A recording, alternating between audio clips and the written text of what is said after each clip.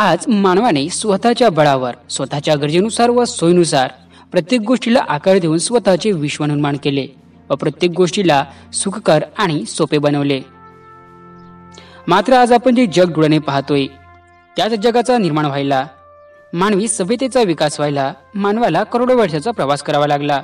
आणि हाच करोडो वर्षाचा प्रवास मानवाने कसा केला? आणि कसा टप्प्याटप्प्याने मानवाचा विकास झाला हे आपण आजच्या व्हिडिओमध्ये पाहणार आहे. तर नमस्कार मित्रांनो मी अमर मोडघरे.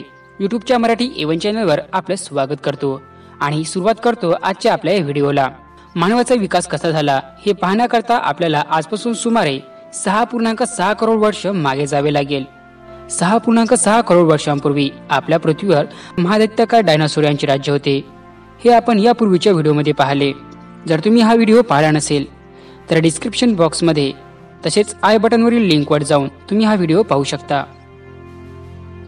सहा पूर्णांक सहा करोड वर्षांपूर्वी डायनासोर सारख्या प्रजातींचा लघुग्रहाच्या आणि पृथ्वीच्या टकरेमुळे विनाश झाला.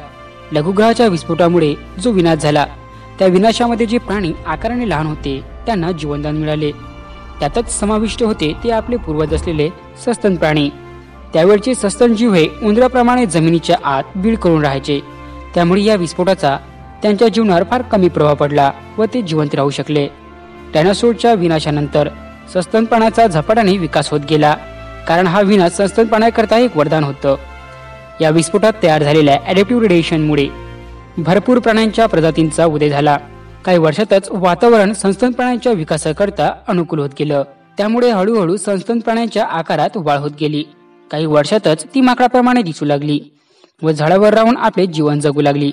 काही काळाने त्यांच्या शरीरामध्ये महत्त्वाचे बदल घडून आले आणि त्यांच्या पाठीच्या मणक्याचा विकास झाला.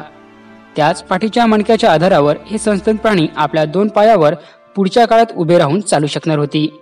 आजपासून सुमारे चाळीस लाख वर्षांपूर्वी आफ्रिकेच्या पूर्वी भागात नवीन पर्वतमालेचा विकास झाला. त्यामुळे मोसमी वाऱ्यांना अवरोध निर्माण होऊन तिथे पाऊस कमी पडू लागला. त्यामुळे येणाऱ्या काही वर्षात तिथे दुष्काळ पडला. जंगल कमी होत गेले. झाडे कमी झाली. त्यामुळे झाडावरील माकड अन्नाच्या शोधात जमिनीवर उतरून त्यांनी मोकळ्या मैदानात आश्रय घेतला.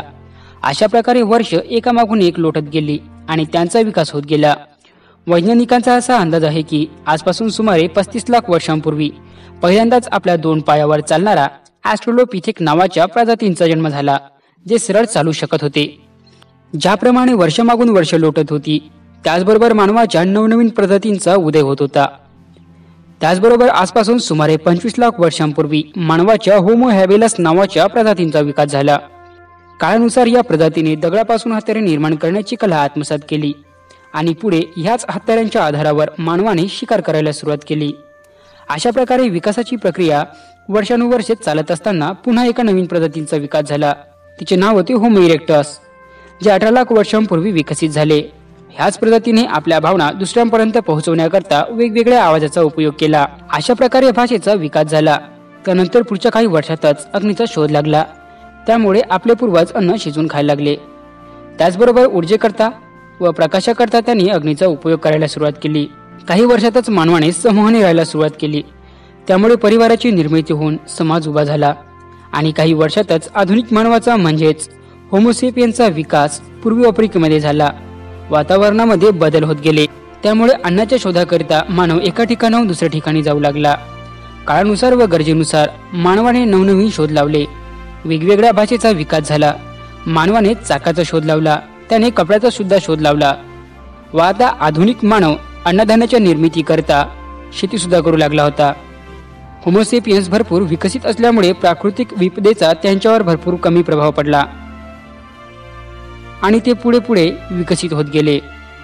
त्यातूनच आज आपला विकास झाला. आणि आज सर्व जग जवळ आले. आणि आज मानवाने भरपूर शोध लावून स्वतःचे जीवन सोपे आणि सुकर बनवले. तर अशा प्रकारे मानवाने विकास केला आणि आधुनिक जगाची निर्मिती झाली. जर आजचा हा व्हिडिओ तुम्हाला आवडला असेल तर व्हिडिओला लाईक शेअर आणि चॅनलला सबस्क्राईब करायला विसरू नका.